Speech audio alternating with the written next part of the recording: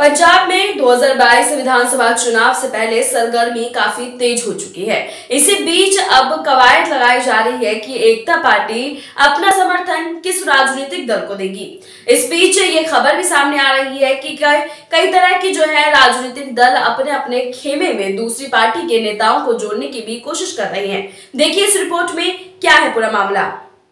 पंजाब 2022 विधानसभा चुनावों को लेकर अलग अलग राजनीतिक पार्टियों की ओर से चुनावी सरगर्मियाँ तेज करते एक राजनीतिक दल दूसरे राजनीतिक दल के नेताओं को अपनी पार्टी में करने के लिए खड़े हो गए। वही छोटे बड़े राजनीतिक दल आपसी गठजोड़ कर रही हैं ताकि पंजाब में अपनी सरकार बना सके और दूसरी ओर जिला कपूरथला में एकता पार्टी, पंजाब प्रधान सुरजीत सिंह मान की प्रधानगी में बैठक का रखी गई, जिसमें एकता पार्टी प्रधान गुरमीत लाल बिट्टू ने पार्टी के सीनियर नेताओं और वर्करों से 2022 पंजाब विधानसभा चुनावों को लेकर विचार विमर्श किया ताकि आने वाले चुनावों को लेकर पार्टी अपने उम्मीदवार चुनाव मैदान में उतार जाए या पंजाब प्रदेश में अन्य किसी राजनीतिक दल को एकता पार्टी अपना समर्थन दे।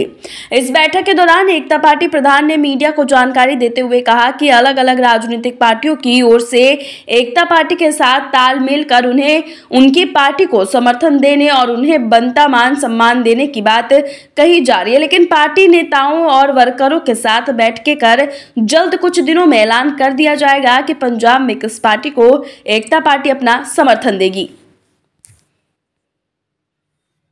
ਅੱਜ ਇੱਕ ਪ੍ਰੈਸ ਕਾਨਫਰੰਸ ਜਾਂ ਮੀਟਿੰਗ ਜਿਹੜੀ ਕੀਤੀ ਗਈ ਏਕਤਾ ਪਾਰਟੀ ਵੱਲੋਂ, ਕੀ ਏਜੰਡੇ ਸੀ ਜਿਹਨੂੰ ਲੈ ਕੇ ਅੱਜ ਮੀਟਿੰਗ ਕੀਤੀ ਗਈ? ਮੈਂ ਗੁਰਮੀਤ ਲਾਲ ਬਿੱਟੂ, ਪ੍ਰਧਾਨ ਏਕਤਾ ਪਾਰਟੀ ਔਰ ਸਮੁੱਚੀ ਏਕਤਾ ਪਾਰਟੀ ਵੱਲੋਂ ਮੈਂ ਸਮਝਦਾ ਇੱਕ ਅਸੀਂ ਛੋਟੀ ਜਿਹੀ ਅੱਜ ਮੀਟਿੰਗ ਰੱਖੀ ਸੀਗੀ, ਕਿਉਂਕਿ 2022 ਸੰਬੰਧੀ ਮੈਂ ਸਮਝਦਾ ਚਾਹੇ ਕੋਈ ਸੰਸਥਾ ਹੈ ਚਾਹੇ ਕੋਈ ਪਾਰਟੀ ਹੈ ਉਹ ਇਸ ਵੇਲੇ ਸਾਰੇ ਲੋਕੀ ਸਾਥੀ ਨਾਲ ਸਲਾਹ ਕਰਕੇ ਉਹ ਅਗਲਾ ਫੈਸਲਾ ਮੈਂ ਸਮਝਦਾ ਲੋਕੀ ਲੈਂਦੇ ਪਏ ਆ। ਇਸੇ ਤਰ੍ਹਾਂ ਏਕਤਾ ਪਾਰਟੀ ਨੇ ਇੱਕ ਫੈਸਲਾ ਕੀਤਾ ਵੀ ਸਾਰੇ ਸਾਥੀਆਂ ਕੋ ਪੁੱਛ ਕੇ ਕਿ ਆਪਾਂ ਨੂੰ ਕੀ ਕਰਨਾ ਚਾਹੀਦਾ ਵਾ ਇਲੈਕਸ਼ਨ ਲੜਨੀ ਚਾਹੀਦੀ ਹੈ ਜਾਂ ਕਿਸੇ ਮਦਦ ਕਰਨੀ ਚਾਹੀਦੀ ਹੈ ਕਿ ਜਾਂ ਕਿਸੇ ਸ਼ਾਮਲ ਹੋਣਾ ਚਾਹੀਦਾ ਵਾ। ਕਿਉਂਕਿ ਮੈਂ ਸਮਝਦਾ ਜਿੰਨੇ ਵੀ ਏਕਤਾ ਪਾਰਟੀ ਨਾਲ ਜੁੜੇ ਪਏ ਆ, ਉਹ ਸਾਰੇ ਲਗਭਗ ਮੈਂ ਸਮਝਦਾ ਸਮਾਜ ਨਾਲ ਜੁੜੇ ਪਏ ਉਹ ਸਮਾਜ ਦੀ ਸੇਵਾ ਕਰਦੇ ਪਏ ਆ। ਕਿਉਂਕਿ ਮੈਂ ਸਾਥੀਆਂ ਕੋਲੋਂ ਵਿਚਾਰ ਲੈਣਾ ਬਹੁਤ ਜ਼ਰੂਰੀ ਹੈਗਾ, ਕਿਉਂਕਿ ਏਕਤਾ ਪਾਰਟੀ ਸਮੇਂ-ਸਮੇਂ ਤੇ ਕੋਈ ਵੀ ਫ- ਕੋਈ ਵੀ ਡਿਸੀਜਨ ਲੈਂਦੀ ਹੈ ਉਹ ਸਾਥੀਆਂ ਤੋਂ ਵਿਚਾਰ ਮੈਂ ਸਮਝਦਾ ਵੀ ਫੈਸਲਾ ਕੋਈ ਨਹੀਂ ਕਰਦੀ। ਇਹ ਸਮਝਦਾ ਮੈਂ ਕਹਿੰਦਾ ਛੋਟੀ ਜਿਹੀ ਮੀਟਿੰਗ ਬੁਲਾ ਕੇ ਸਾਥੀਆਂ ਕੋਲੋਂ ਅੱਜ ਵਿਚਾਰ ਲੈ ਕੇ ਅਸੀਂ ਅਗਲੇ ਤਿੰਨਾਂ ਚਾਰਾਂ ਦਿਨ ਦੇ ਵਿੱਚ ਵਿੱਚ ਕੋਈ ਨਾ ਕੋਈ ਅਸੀਂ ਵੱਡਾ ਫੈਸਲਾ ਲੈ ਲੈਣਾ ਵਾ। ਇਸ ਤੋਂ ਇਲਾਵਾ ਹੋਰ ਵੀ ਕੋਈ ਪਾਰਟੀ ਵੱਲੋਂ ਕੋਈ ਗਤੀਵਿਧੀਆਂ ਰੱਖੀਆਂ ਜਾਣਗੀਆਂ? ਨਹੀਂ ਦੇਖੋ ਹੁਣ ਸਾਡੇ ਕੋਲ ਸਾਰੀਆਂ ਪਾਰਟੀਆਂ ਵੱਖਰੀਆਂ ਵੱਖਰੀਆਂ ਪਾਰਟੀਆਂ ਸਾਡੇ ਨਾਲ ਜਾਂ ਸਾਡੇ ਸਾਥੀਆਂ ਦੇ ਲਿੰਕ ਜਾਂਦੀਆਂ ਪਈਆਂ ਵਾ। ਵੀ ਕੋਈ ਕਹਿੰਦਾ ਸਾਨੂੰ ਸਮਰਥਨ ਕਰੋ, ਕੋਈ ਕਹਿੰਦਾ ਸਾਨੂੰ ਜਾਂ ਸਾਡੀ ਪਾਰਟੀ ਸ਼ਾਮਲ ਹੋ ਜਾਓ, ਜੋ ਤੁਹਾਡਾ ਬੰਦਾ ਮਾਨ ਸਨਮਾਨ ਅਸੀਂ ਦਿਆਂਗੇ। ਕਿਉਂਕਿ ਮੈਂ ਸਮਝਦਾ ਇਹ ਚੀਜ਼ਾਂ ਵਾਸਤੇ ਵੀ ਸਾਥੀਆਂ ਨਾਲ ਵਿਚਾਰ ਕਰਕੇ ਵੀ ਮੈਂ ਸਮਝ ਤਿੰਨਾਂ ਚਾਰਾਂ ਦਿਨਾਂ ਦੇ ਵਿੱਚ ਵਿੱਚ ਅਸੀਂ ਕੋਈ ਨਾ ਕੋਈ ਫੈਸਲਾ ਸੀ ਲੈ ਲੈਣਾ, ਅੱਜ ਇਹ ਡਿਸੀਜਨ ਲੈ ਲੈਣਾ ਵਾ। ਔਰ ਇੱਕ ਮੈਂ ਸਮਝਦਾ ਵੀਰਵਾਰ ਨੂੰ ਮੀਟਿੰਗ ਕਰਕੇ ਸ਼ੁੱਕਰਵਾਰ ਜਾਂ ਸ਼ਨੀਵਾਰ ਏਕਤਾ ਪਾਰਟੀ ਕੋਈ ਨਾ ਕੋਈ ਵੱਡਾ ਫੈਸਲਾ ਲੈ ਲੂਗੀ ਏਕਤਾ ਪਾਰਟੀ ਤੋਂ ਪੰਜਾਬ ਪ੍ਰਧਾਨ